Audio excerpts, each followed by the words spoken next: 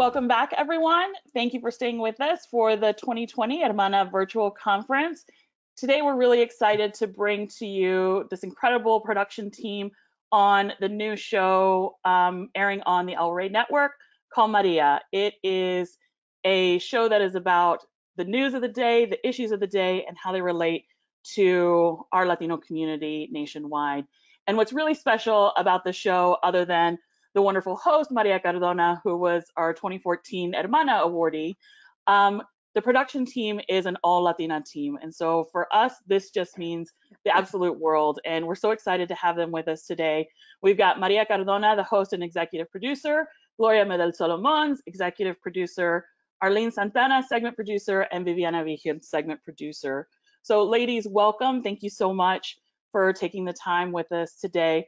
First, I just kind of want to go around the around the horn. Tell us about yourself. How did you become the person that you are today? What's your origin story? So, Maria, let's start with you. thank you, Amy. First of all, I want to thank you uh, for your leadership so many years. We've worked on so many projects together, and I was so thrilled when you decided to join me as a co host for the first show of Maria on the El Rey Network. It was such an honor to have you. And I also want to thank Mana for the incredible work that you all do to raise up these issues, all of these issues that we're talking about on the Maria show. You have been dealing with them for decades uh, within the Latina community, and especially how they relate to Latinas you know, this show I think has been a long time in coming. And if it wasn't going to be me, it was going to be another Latina. As you know, I have been a political commentator on television for many, many years. I cut my teeth in politics. I've been dealing in politics for all of my career, and I have specifically focused on the intersection of politics, policy, and the Latino community this year, I think it is the perfect time for a show like Maria.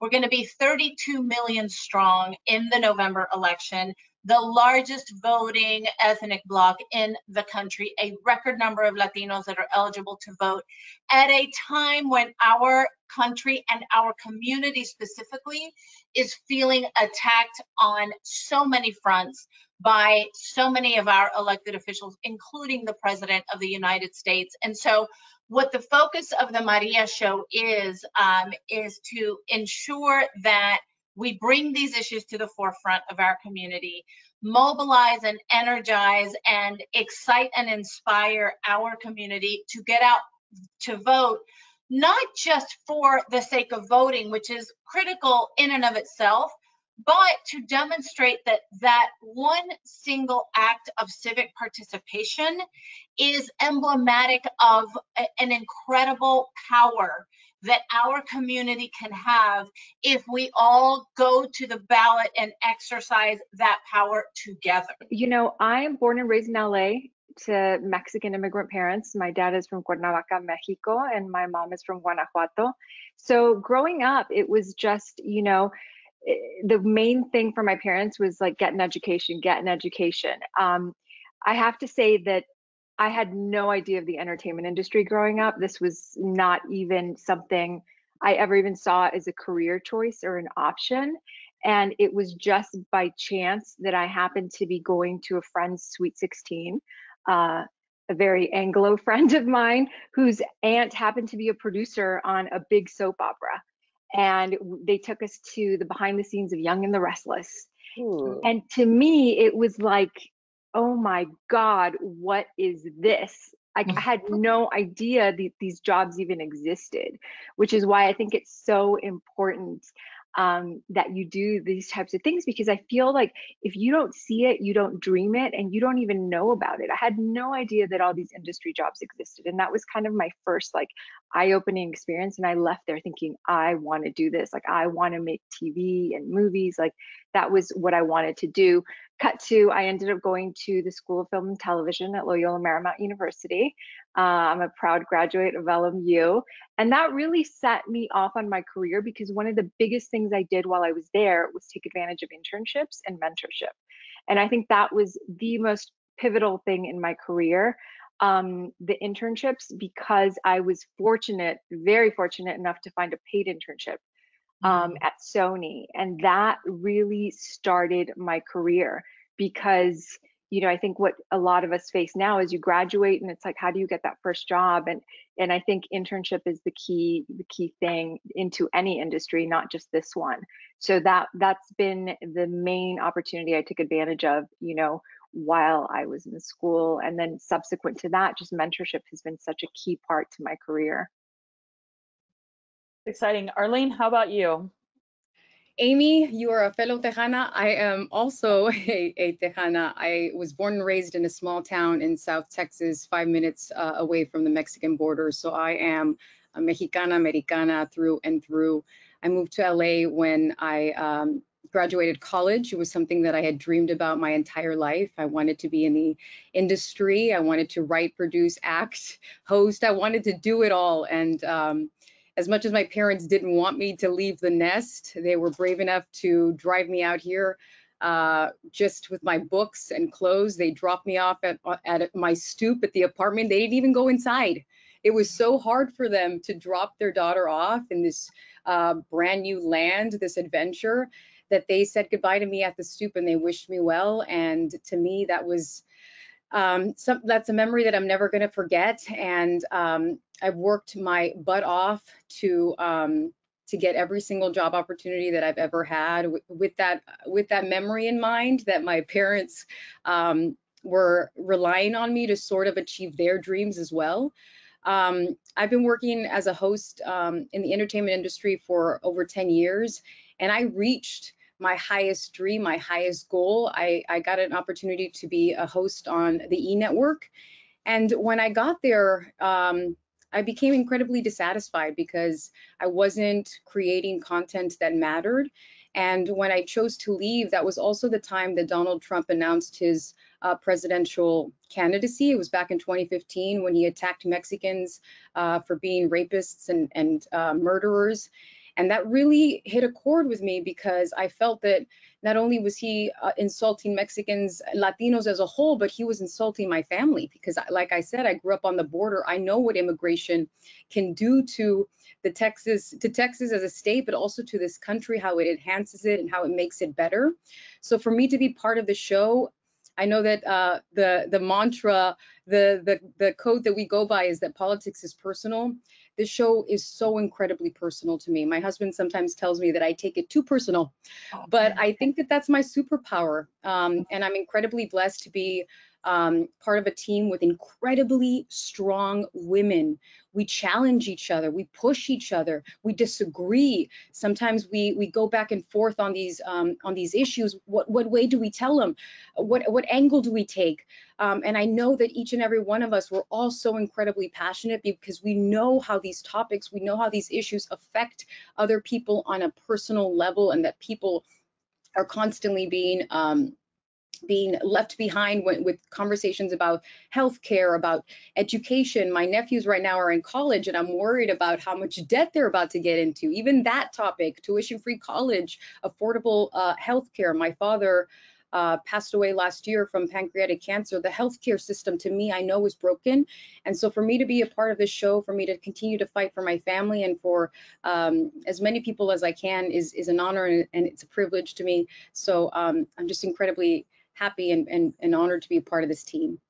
We're so sorry for the loss of your father, and we know that you're making him proud, though, every single day. I mean, this show is really a testament to that work, and, and your work shines through. How about you, Viviana? How how did you kind of come up through the ranks and find yourself here? Yeah, I'm pretty lucky to be here, right? Have you heard these women already? They're incredible. I got chat, I got all charged up listening to them. Um, I, like Lori, I'm a Los Angeles native. I'm like 15, 18 generation Chicana. I don't really know. We go back that far. Um, my family was a big part of the Chicano movement here in Los Angeles. And my d- dad, actually, one of seven kids, was the only child in his, fa- his family to go to college, but he went all the way. He got a PhD he was a professor. He is a professor in cultural anthropology, Chicano studies professor, and urban gang expert. So my whole life, I've been surrounded with anthropologists and academia and all of that, and really sucked that in. Um, went to college at USC, sociology major, came out as a county social worker for Los Angeles County. I was a children's social worker, taking people's kids away, giving people's kids back, wow. doing that kind of work. I've always really had a passion for social justice. My point of getting into that job was I wanted to help people navigate a system that was set up for them to fail. So I wanted to help these families reunite with their children, get the resources they need to have success. And while I was doing that, I, as a hobby, decided to sort of jump into this contest to become a TV host for an hour. I ended up losing the contest, but getting the job. And so for five years, I moonlighted as a TV host, and then I was a full time social worker during the day to the point where I had to eventually decide what I wanted to do.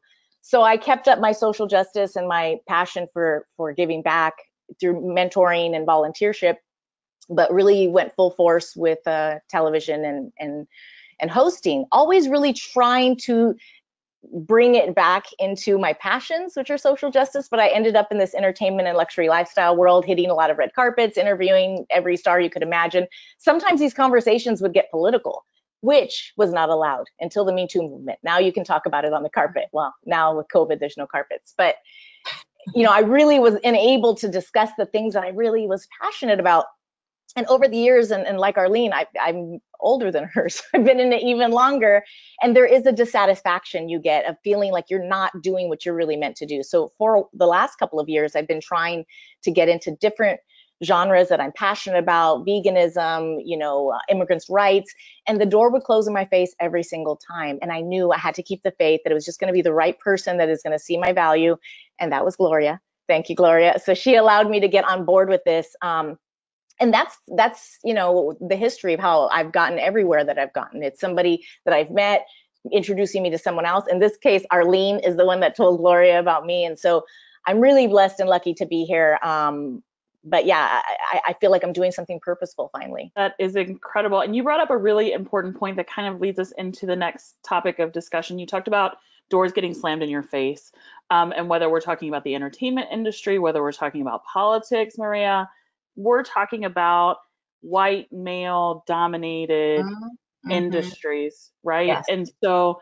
to have this powerhouse group of Latinas together, you know, what why is it so important for us to be our own storytellers? And then of course, what do we hope to accomplish with the show, right? Yeah. So, yeah. Um, so maybe Maria, you can start with that one. Um, what do we hope to accomplish, and why is it important for us to be our own storytellers? Sure. So we always tr- we always look at a situation and a, an idea or um, a problem through our own perspective, right? That's that's the human nature. That's the perspective that you bring to the table.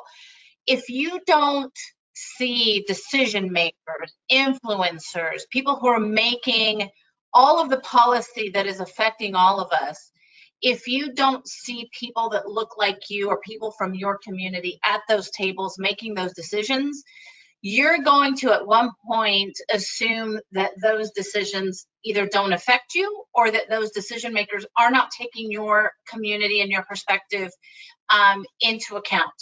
And that could not the, the first one could not be further from the truth. The second one yes and that's the problem. That's why people who look like us and people who come from our communities have to get involved.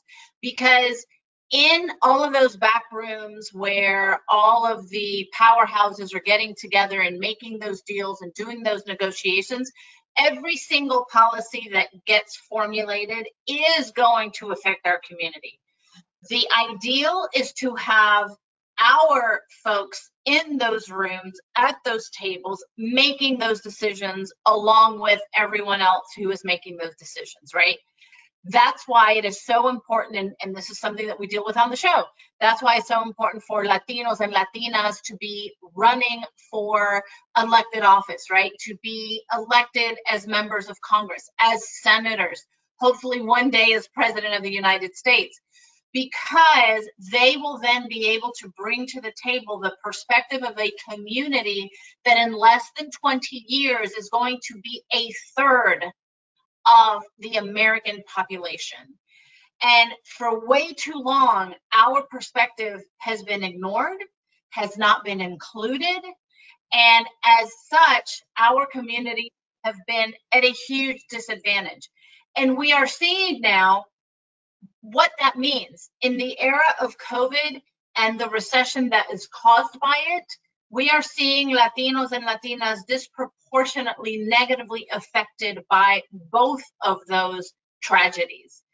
And those are issues that are have been a long time in coming. And, it, and it's not just us, right? Our African American brothers and sisters, our LGBTQ brothers and sisters, all of these issues are issues that we talk about on the Maria show, right? It's going to take all of us coming together and understanding that until the halls of power reflect what this country looks like, so many communities, including our own, are going to be as, at a disadvantage. So yeah, did it take coming to an El Rey network to really find that opportunity to tell stories the way you wanted to tell them from the vantage point of our community? So prior to doing the show at El Rey, I had been at NBC Universal and I was part of the team that launched mun2, which was their very uh, US Latino targeted cable channel that eventually became Universo, which is still on one of their cable networks today.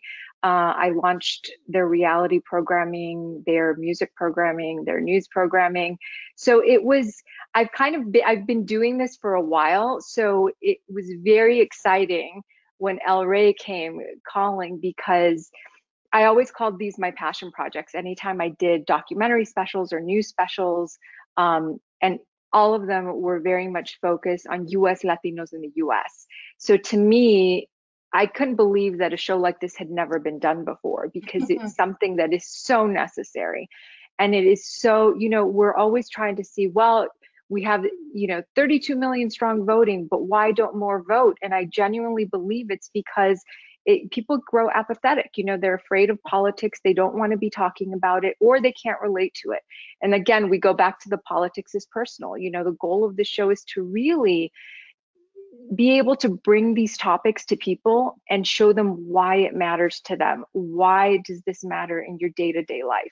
Why is it important to be represented? Something as simple as, you know, you don't see us on TV or films. You know, I just saw this movie last night and it was so disheartening to see that all the Latino characters were either gang members, cartel members. I mean, nothing to look up to at all. Like they were all the bad people.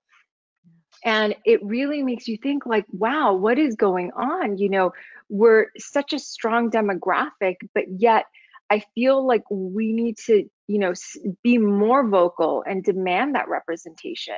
Like Maria said, yes on the political landscape but not only that in media i mean mm-hmm. maria is a trailblazer in what she does she's one of very few latinas that that do this and is, forget about having her own show i mean that that's a first you know yeah. so i think that's definitely what's been super important is to to change that landscape to really bring these issues um, to the forefront and to be able to do it in an accessible manner where people can really understand like wow yeah that does matter or to help explain things to people on why you should care about a certain issue. Mm. right. Arlene does it kind of feel you know do you does do you feel it every day that you're breaking new ground uh, on the show and with this work? And how does that sort of play into how the development process works, right? Because it's almost like buying your, you know, buying into the crazy hype, but at the same time staying grounded to really produce that great content. Um, I think that there's definitely a sense that we're doing something that's never been done before. And as far as the content, I mean, I talked to my family back home in Texas, and they've never seen anything like this. The kind of conversations that we're having from the LGBTQ episodes to reproductive justice um, to uh, mental health, um, some of these topics are taboo in our culture. And so um, for me, the goal is having these conversations so that my family gets it because that's the closest thing for me, right? Um, so if I can get them to understand these topics, then I'm really getting the job done, I feel like. So um, one of my main priorities whenever I tackle one of these topics is like, what is the story that we want to tell? It's, it's fine and dandy to talk about these topics on a general scale, but when we hyper focus on how this affects you on an individual individual level, you really start to connect the pieces. And we're up against some very um, very substantial tactics. I mean, I think that um, there's this there's this tactic where uh, Latinos, the Latinx community, were were made to feel less than, and that's what Donald Trump is, has done. And so when you do that, it immediately sets you apart and that like you're not part of the process. So I think encouraging people to see that the, the power that we do have and how these issues uh, can be, um, can, we can connect to these issues and how we have the power to change these issues. That to me is um, is inspirational, and I think that um, Senator Bernie Sanders, for me, is, is a big inspiration because he was able to connect with the Latino community. I think of Nevada and how how much how much Latinos came out for him. Nevada being one of the uh, having the some of the strongest healthcare system in the country, and yet union workers came out by the numbers to vote for him. And I and and to me that really um, that really resonated with me because I'm like, if these people are going out to vote for somebody who's completely trying to dismantle the the the healthcare system and they have the best healthcare possible, then that really tells you a lot about where we are. And um, I'm just encouraged by the conversations that we're having, and I, and I feel incredibly passionate. So, Viviana, as personal as all of this is, you know, it's not just the politics that are personal. This is your your work and your livelihood, and how do, how do you balance that out um, you know to be able to to come through with, with the work that you do? I'll be honest it doesn't feel like work at all. It does not feel like work. I am having a great time every day. I am learning so much. It is incredibly inspiring. Um, i find maria to be one of the most powerful women full of grace. Having hosted many television shows myself this woman is amazing she is so kind and graceful. I I long to be like her. And then the work ethic that Arlene and Gloria have are it's just it makes it a really uh, wonderful place to work. And I think as women, we've all worked in non-wonderful places. Mm. Um, but go going back to like, how can we feel that we have a voice if we don't see our voices you know represented if we don't see people actually listen to, listening to the voices and I'm glad Arlene broke, uh, brought up Bernie Sanders. And I, I, just think because I'm with her, I was really inspired by Bernie Sanders. And, and I know politically a lot of us disagree on this show, but I love that we're all having this conversation because just mm-hmm. like Maria said, this is the most important time to have these mm-hmm. conversations. Mm-hmm. And we all want the same thing we all want the same thing. We just need to figure out how to bridge that gap. And I think this show does it. I just want to close because we have so many um, girls in our Hermanitas program across the country, um, girls who are in middle and high school who receive mentoring through our programming. And I would just love for you to take just a couple of seconds to talk about what you would go back and tell your younger self right now, kind of the, you know, if you could go back and, and talk to maybe your 11 year old or, or 15 year old self and you know what is life what does life hold for you? What would you remind her of to hold on to to to stay strong and keep working? And anyone can go. I'll, I'll go first since uh since everyone jumped at it. I, you know, one thing that I remember, uh, it's so hard when you're young. Um, and sometimes I feel like my confidence was better when I was young. As you get older and life throws its rocks at you, you kind of have to rebuild, but you're so fresh in the innocence of, of just truth mm-hmm. when you're that age.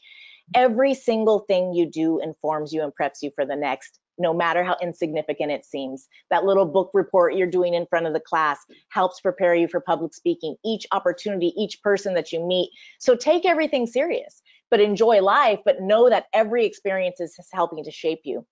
And if you can see us here on the panel, see yourselves in whatever job that you want to do, know that it's going to be a struggle. Know you're going to have to throw some, I don't know if we can say that word, but you know, it, it's gonna, it's not going to be an easy path, but it's an enjoyable path.